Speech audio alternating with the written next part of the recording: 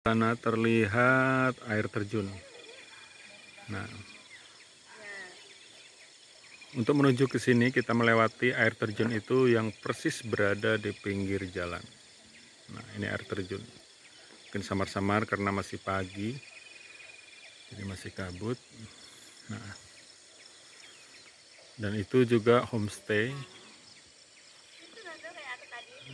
Ini dikelilingi oleh bukit ada kebun, ini ada sawah, dan ini ada batu yang sangat tinggi tepat di atas penginapan.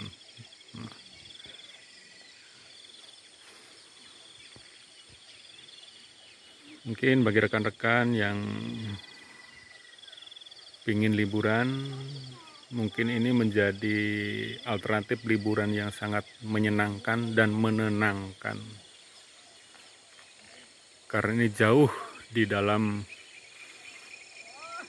lingkup gunung bebatuan.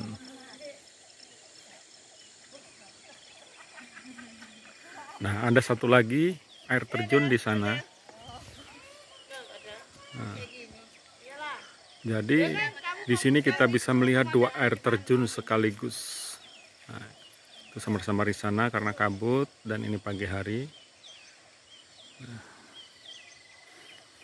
ini suasana pagi hari di Lembah Harau, Sumatera Barat.